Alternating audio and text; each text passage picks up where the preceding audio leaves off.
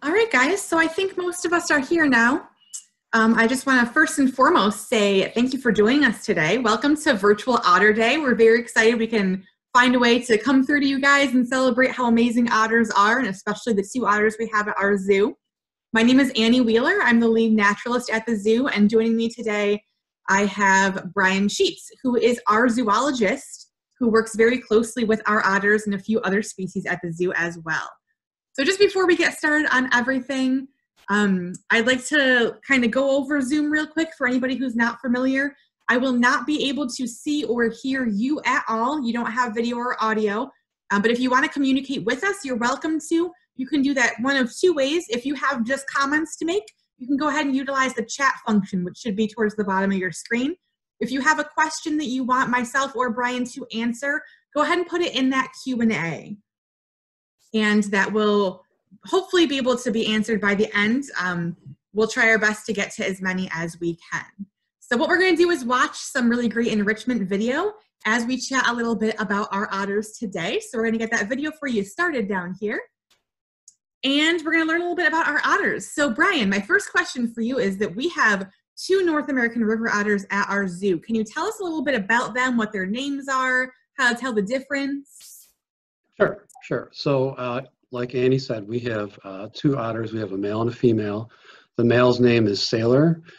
He's 13 years old and he came to us from a zoo in Myrtle Beach. And uh, Sailor's been with us about eight years. Ashki, she is just turned four and she came to us from the National Zoo. Uh, they do look a little differently. Males are generally slightly bigger than female otters. Sailor looks a little thicker, a little stockier than Ashki does, and she has kind of a long, lean look to her. Sailor also has uh, a much lighter markings underneath his chin and his chest, and he has a series of dots underneath his nose in the shape of a smile. That, so that's how you can tell them apart. Good to know, because I believe we see both of them in this enrichment video today. Um, what did you do for this enrichment? Because I see them swimming around and being interactive, but what are they going after? Today's enrichment is live fish. They're fathead minnows that we pick up at um, a local bait shop. We add two or three dozen minnows to the pool at a time, and they're they're pretty small. Know, they're they're only like about that big. Uh, so two or three dozen isn't really a lot. And we give the fish a few minutes in the pool to kind of find their hiding spaces, and then we let the otters out. Nice. And are they typically able to catch all the fish? During the, the short span of the enrichment, or does it last longer than that? It lasts longer than it used to. Originally, when we put the fish in, our pools were, were kind of bare in the bottom. And we've added literally a ton of river rock as well as logs and branches and sticks and stones and other things, natural debris into the pool that helps give the, the fish the opportunity to hide. And uh, just like they would uh, if they were in a pond or a stream. So when we let the otters out, the otters have to work a little harder, uh, basically like they normally would if they were in a pond, to root around and try and find the fish. Nice, nice. And we have a lot of different forms of enrichment that we use for our animals at the zoo. What is it that makes live fish so special? What is it that sets it apart from other enrichment forms that you might put in for the otters? Well, the otters, they're carnivores. Carnivores can be challenging to, to uh, enrich and, and get them engaged mentally and physically and eliciting natural behaviors. But with the otters, it's kind of a unique situation since they're semi-aquatic and a lot of their prey is actually fish and bait fish are readily available and used you know, frequently by fishermen. So uh, when the otters have to chase down their prey, that's exactly what they'd be doing in their natural range. And it, it uh, it's the most stimulating thing we can give them. We give them fish and we give them meat as part of their regular diet, but generally not live. But when they're given live fish and they have to go out and physically hunt and seek them, it really uh, occupies a lot of their time doing what they'd be doing naturally. And one of the bonuses of giving them the live fish is after the live fish are mostly gone, we'll still see a few stragglers, even as much as a week later, because they have places to hide. And I've noticed a change in the otter's behavior uh, because after, say, the live fish, the obvious ones are gone by the end of the day. Over the course of the week, the otters, instead of just swimming through the pool like they normally would, now that they've been getting fish regularly, they will dive down and root through the rocks and see if they can spook a fish out that's been hiding. So in a way, it's changed their behavior for the better. It's occupied their time more, even when the fish aren't there. They're still looking, something they didn't do before. So I'm really happy with how it's how it's worked out. That's really great, and especially because Ashki is so much younger and what from what I've seen, very active. Um, and with her being new to She's our zoo and younger than Sailor, do you notice a big difference in their activity level between the two of them? Um, or their willingness to interact with things in the habitat, or is it about the same for both of them? She's definitely more curious uh, for a couple reasons. One, because she's younger. So Sailor's, he's 13. He's been with us for a while. He's seen the viewing glass a million times. It, he, he doesn't pay any attention to what's behind it.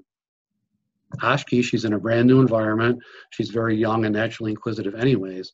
So yeah, she's stimulated by what's going on behind the glass. She'll follow the keepers as we approach the glass and she'll look if we put something in front of her, uh, a lot like the sea lion Mary Lou does, a lot like that. Um, she's very active. She swims a lot. He swims with her for the most part, but there are times when he's, I think he's had enough and he'll go take a nap and she keeps on swimming. So she's maybe 25% more active than he is. Very cool. Now, but I, I also um, think that she makes him more active. Yeah, yeah, that's definitely a good thing. They seem like they're quite the good match. Yes. Um, we we have heard that guests often have a hard time seeing the otters when they're at the zoo during the day. So, do you have any advice for guests on if there's a better time of day to see them, or if they have favorite hiding spots that you can give us kind of the secret info on where to spot them? Sure. In the hottest part of the summer, uh, they're usually only active in the morning and the late afternoon. In the middle of the day, they're usually sleeping. The otters are always on exhibit when the zoo is open. It's just a question of, of figuring out where they are. And if they're not swimming, they're generally down the lower pool area, the outside viewing glass. We have two hollow logs down there on each side of the, the pool, and they're almost always sleeping in one or the other. So, and it's very easy to miss them when you walk by if you don't lean down and take a look all the way through the log, you might not see them. But they're on their exhibit uh, the entire time the zoo is open. Nice, good, good to have that little tip on where to look for them then. Um, now, Ashki and Sailor do have a breeding recommendation through the species survival plan. So that is our um, yeah. AZA regulated breeding program that basically looks at all the genetics in our zoo animals and makes sure that if they are breeding, um, we're doing it responsibly. So their genetics are not overlapping. We're not inbreeding. We're making just good genetically healthy and diverse offspring. So since they do have um, a breeding recommendation, can you tell us a little bit about how that's going so far or your hopes or views for the future on it? Well, we've overcome the biggest hurdle, which is getting our new otter Ashki used to her environment and comfortable with it, and then the same thing with her new mate Sailor, and that's gone extremely well. We let Ashki have the exhibit for a while by herself so that she could learn it, memorize it, feel comfortable in it. Then she was introduced to Sailor, and they got along famously right away. It, it, it went as well as we could ever hope for an introduction to go, and they're basically inseparable. So so far so good. The breeding season for otters is generally late winter to early spring. So we're going to have to wait for a while to see if that continues. But in the meantime, we feel that we've set them up for success by providing them with a, a space that they feel comfortable and feel safe in it. And that's got a lot to do with whether or not we have successful breeding. And Ashki is already a, a proven breeder. She had three pups at the National Zoo before she came here. So we know that she is capable. So yeah, we have high hopes. Everything's going the way it should so far. That's good. So we just have to kind of stay tuned over the next few seasons and see how things go with them. Yes. Now, although our two otters are clearly doing very well at our zoo, even during the time that we're closed, um, otters do have a very complicated history in New York State, specifically in our local region. Um, previously, they have not been in our river. They do naturally live in our river and our waterways, uh, but for many years they were extirpated. So they were locally extinct uh, largely due to things like unregulated trapping. Um, unfortunately, a lot of people do want otter's fur um, to sell or to trade or to have for their own. Um, they also face problems with pollution. Our waterways getting too dirty, and if the waterways are too polluted, there's not really food that the otters can eat there because those smaller species like fish and crustacean need clean, unpolluted water to be able to survive. Um, they also had issues with overfishing and taking away their food too. And for a long time, they were not found in this area. Um, we did go through the New York State River Otter Project in the mid to late 90s, um, where we relocated some otters up from the Adirondack region down to our Genesee, um, about 300 of them, and the zoo did play a part in, in doing that. Um, and we saw that become successful, but that doesn't mean that they're out of the dark. So we are seeing them start to come back. Um, can we try to figure out what we can do to help um, or what their current threats might be, um, just so that we can get involved in helping them succeed in our local waterways? Well, you're absolutely right about the, the quality of the water is the main thing that will uh, allow otters to live here and, and thrive. And yes, trapping is allowed even in New York State. Now, the, the otter population is stable. There are other parts of the state where trapping is still allowed. Um, but the population is, is doing well. And if we want to do something that would help uh, the otter conservation cause, I would recommend looking at uh, candidates when you vote whose uh, priorities are a clean environment. You can recycle diligently. That's got a lot to do with our, our water quality and our environment quality in general. Uh, and if there's a local waterway that has a, a volunteer cleanup, or even if it doesn't, volunteer to clean up a local waterway and try and uh, improve something in your own backyard. Absolutely. And we do run um, park and beach cleanups during our regular season too. Obviously, things are a little different right now with our current situation. Um, but we will be starting those up again once it's safe to do so. So keep an eye on our social media too. And you can join um, myself and a couple of other staff members in going and cleaning up our waterways and our parks. Um, a lot of people don't understand that when they litter, when you throw something on the ground, even if you're way far away from the Genesee River, there's a good chance it's going to end up in a lake or a river because when you throw trash on the ground, um, you're going to have wind come through, you're going to have rain come through, and eventually a lot of that stuff gets swept away from where you originally tossed it on the ground and ends up in our waterways and can be really detrimental to species like our otters too. And otters are really important to have, not just because they're cute and we love them. I mean, that's definitely a good thing too. But they, they're really important for the biodiversity of our waterways. They help keep our fish and crustacean population under control and they just play a really important role there. So it is important to conserve them, not just fun because we love them. Um, we have a couple of questions coming in here. We have Okay. um, Sarah asking, do otters eat anything other than fish? Yes, they do. Uh, fish is the main part of their diet. Um, in their natural range, they eat frogs, they eat bird eggs, they eat insects. Uh, pretty much any small animal they can they can catch, they'll eat. Uh, at, at the zoo, they have a balanced diet of meat and fish, and we feed them the small fish for enrichment. We also give them hard-boiled eggs, and I will throw earthworms or mealworms or even crickets in the pool, and they'll eat those also. Very nice. Um, we have Ursula asking if they hibernate in the winter. Her son Jack wants to know if they're hibernators. Not at all. They they do very well in the winter. The otters are well suited to the winter climate. They have a, a very thick coat of fur, actually two coats of fur with a layer of air trapped in between. That's why when the otters swim, you see the bubbles coming up. That's the air in between the layers of fur that's help keeping them warm and dry. Uh, they do fine in the winter. They love going out in the snow and sliding down the hills. Uh, yeah, nope, they do not hibernate. Excellent. Um, and we have Jerry asking how much the two otters weigh. Sailor weighs approximately 21, 22 pounds, and Ashki is just a pound or two behind him. And is that the They average get weighed weight on a for month. them? They get weighed on a monthly basis. Okay, Yes, cool. yes. Um, how do you get their weight?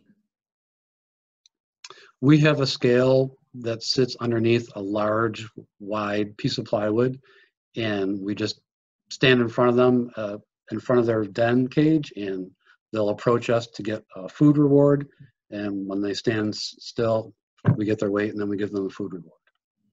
Great. I think that would work uh, with me too. If somebody had a food reward for me and asked me to come over to a certain place, I'd be like, sure, Sure, must work pretty well Yes. with animals too. positive reinforcement and they understand since we do every month they understand it is a, a train training behavior they understand to uh, walk up on the board and hold still and when we uh, give them the signal that we've gotten the behavior desired we give them the reward Excellent. Uh, we have a few different people asking how to tell which otter is which. So they may have not been here at the very beginning when we talked about that. So can you just kind of go over again how to tell the difference between the two of them? Sure.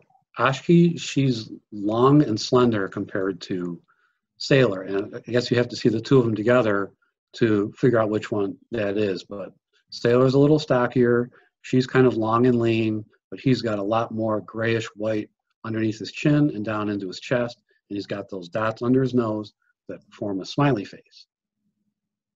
Perfect.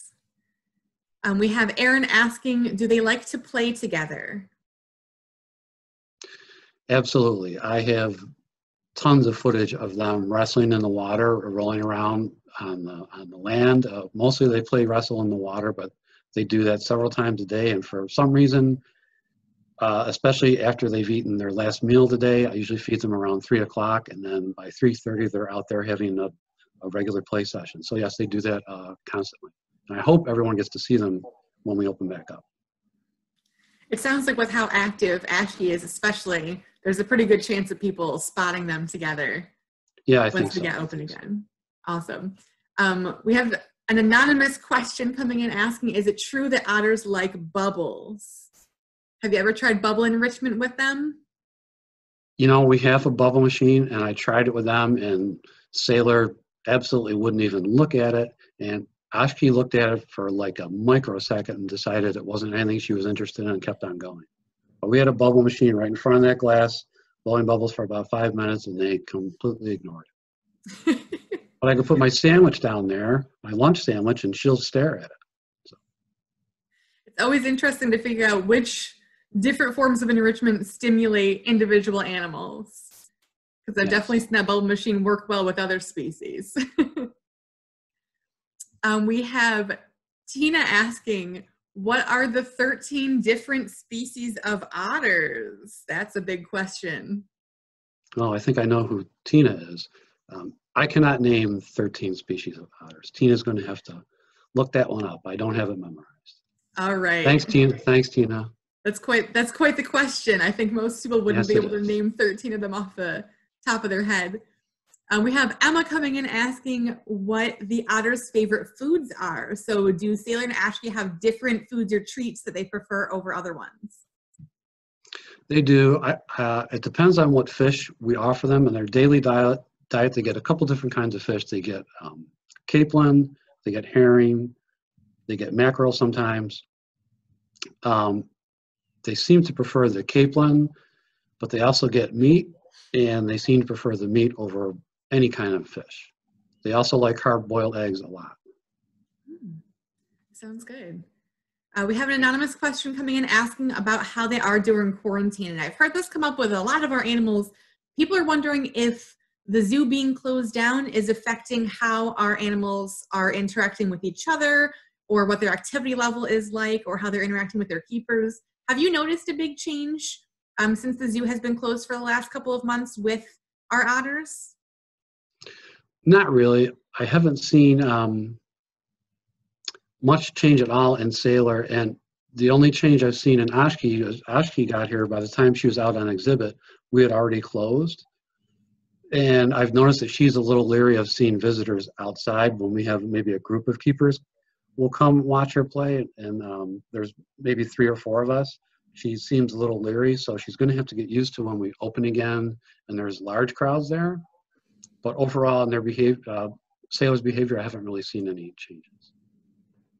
It seems like it's been a, a bigger change for us human animals over the the animals that we have at our zoo. A little bit more of an adjustment quieter, for that's for sure. Yeah. Um, we have Aaron asking if our otters are happier together. So, are they typically a social species? Would they normally be together as pairs or groups in nature? They're typically they're by themselves. It's usually a female and her offspring, or a small group of males. In our setting, I believe that Sailor is much happier having a companion. He was, uh, his companion Heather passed away last year, and he was by himself uh, since then. And I think he really needed to have another otter around, and I think he's much happier now that we've uh, brought uh, a companion in for him in Oshki. So I think he's happier with another otter, and she seems to be also. It sure looks like they're enjoying each other's company in the enrichment videos. Um, we have a couple of questions directed to you personally, Brian. Um, we have a question i- of if you have a favorite otter between the two of them.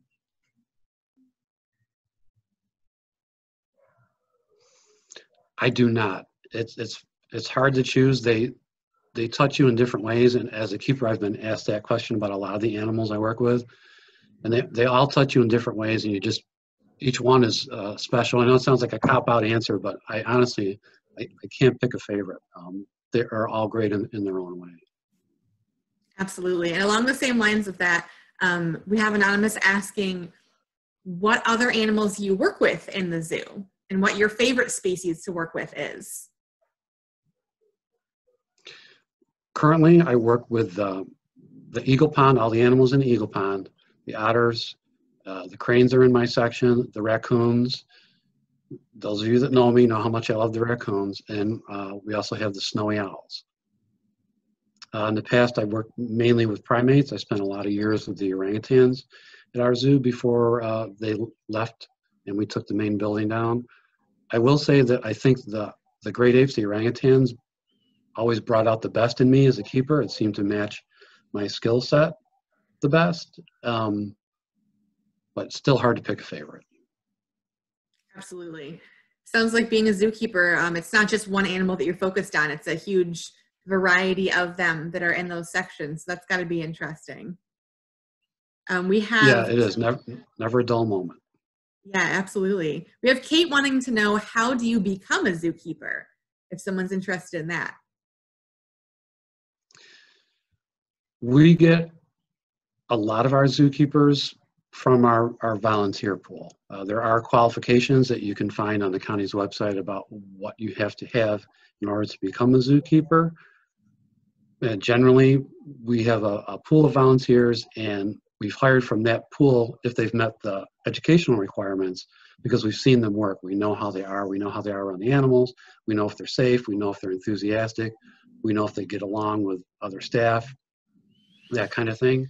So if you met the educational requirements and volunteered with us, that would probably be your best chance.